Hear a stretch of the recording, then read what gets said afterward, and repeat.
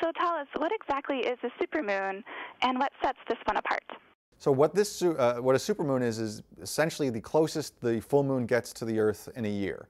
Uh, as we know, the, the, the orbit of the moon is not a perfect circle. It gets closer and further away. And so starting uh, Sunday night to Monday, uh, we'll have the closest full moon of the year. Now this one is historically close. The moon hasn't been this close to the Earth since January 1948. So uh, it's been a long time since the moon has been, been this close.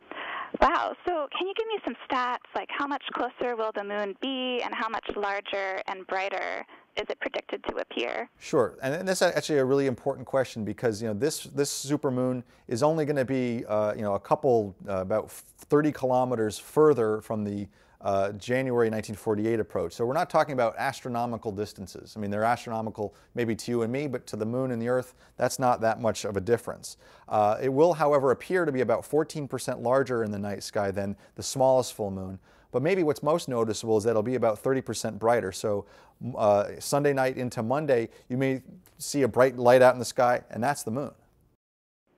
Well, so even an amateur person who's going out to look at the moon, do you think they'll notice a difference?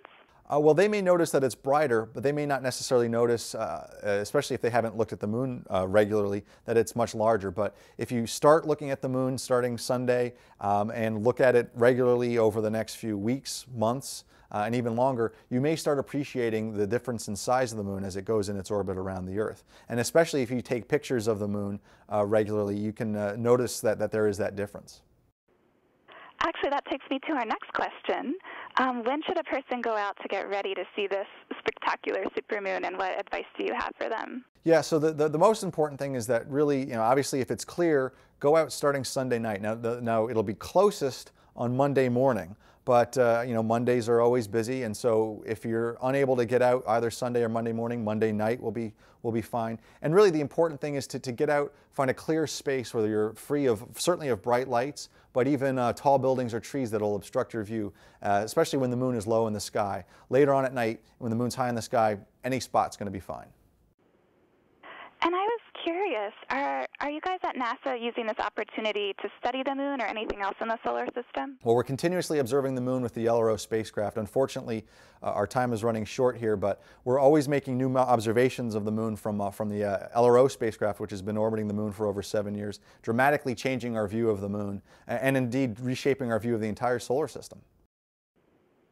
Great. One last question. If people miss this supermoon, when is the next supermoon that they can see? Next time it'll be this close is uh, November of 2034. And unfortunately, I've got to run now, but uh, set your calendars for November 25th, 2034.